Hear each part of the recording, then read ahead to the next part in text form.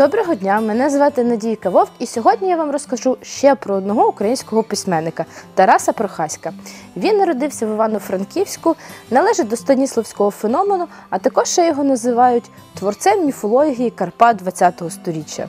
Прохасько не сподівався, що стане письменником, і перших українських радянських письменників він прочитав вже після того, як відслужив в армії. Це були вірші Василя Стуса.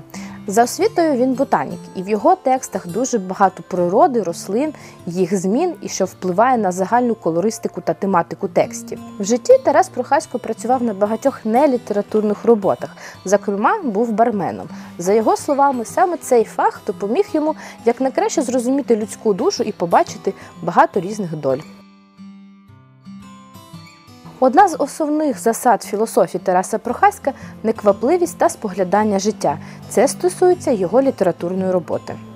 Завдяки роману Непрості Тараса Прохаська називають другим українським Маркесом. Цей роман пережив друге видання в видавництві Тера Інкогніта і представлений у вигляді артбуку з ілюстраціями Юлії Табенської, які розкривають суть і філософію цього художнього тексту.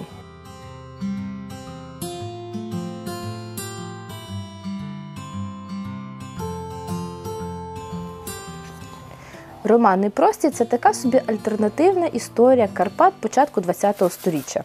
Головними героями тексту є так звані непрості, як їх називають гуцули. Це чарівні фантастичні істоти, які наділені паранормальними властивостями. Вони формують весь світ навколо.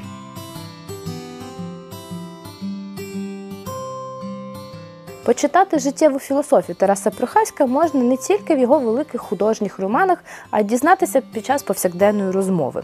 Якщо у вас немає можливості кожного дня тет-тет говорити з паном Прохаськом, його можна прочитати. Збірки есеїв одної тої самої.